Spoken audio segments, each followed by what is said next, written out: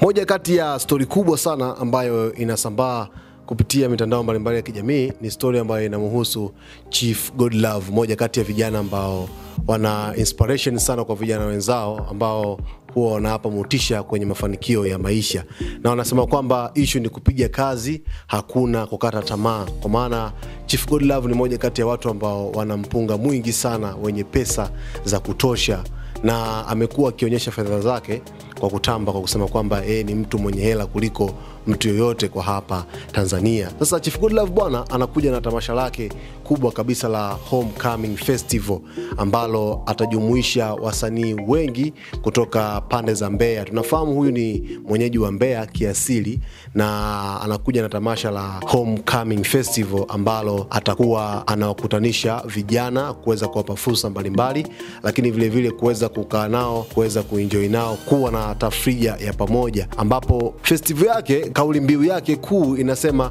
fanikiwa pamoja nasi au uendelee kuteseka, chaguo ni lako, amua vyema.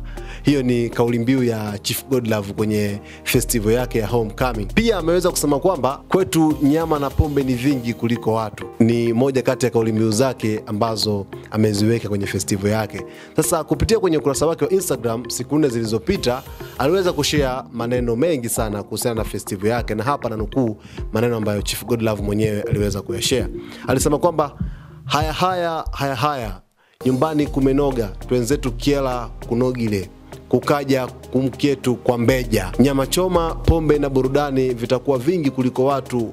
We autishiki kweli? Mmezoea mkiona mtu akiandaa show lakini anaomba hela watu, lakini show hii sisi ndo tunawaburudisha watu na kuwapa nyama na pombe. Hii siyo show, hii ni upendo nilionao kwa watu wangu nyumbani kwetu, kijijini nilikoteseka kuzitafuta, narudi kuzitumia. Mlisema nabii akubariki kwao, mlidanganywa. Nabii yule hakuwa na fedha, nabii mimi nina fedha kibao. Tumeanza na one of the baddest DJ ever, Miso Misondo, kisha tukachukua Kenya chao wa rais akamtagi Kasi Pulakpon. Najivunia kuzaliwa Kiela, Ipinda, Tanzania. Nabii anakubalika kwao, freshi tu, ni wewe tu huna hela.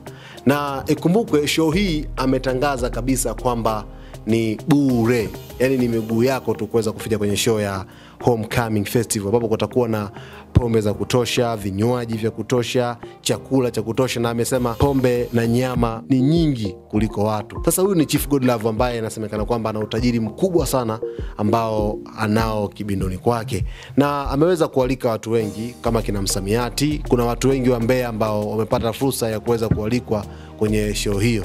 Sasa hii ni kubwa sana kwa wanambea ambao wanatamani kuweza kushiriki kwenye festival ya Homecoming Festival ya Chief Godlove ambaye ni moja kati ya matajiri ambao wanasema kwamba ana pesa nyingi kuliko mtu yoyote na, na anasema kwamba watu wajiunge kwenye chama chake, kwani watapata fedha nyingi sana, na bado hakuweka wazi utajiri wake unatokana na nini, labda mali anazomiliki, lakini amekuwa akionekana kwenye magari ya kifahari, kwenye nyumba kali, mjengo wa maana kwelikweli ambao ameujenga, yani ni hatari tupu. Sasa mabingwa kabisa ambao ni Sponsored Ads Tanzania, wao wanakupa fursa ya kuweza kufanya matangazo nao kwa kuweza kukupa mbinu bora ya kibiashara, lakini vilevile kukusaidia akaunti yako ikiwa na shida ya ufanyaji wa matangazo. Lakini vilevile usiache kutufuatilia ZTV kwa kusubscribe chaneli yetu, kulike video zetu, kucomment pamoja na kushare.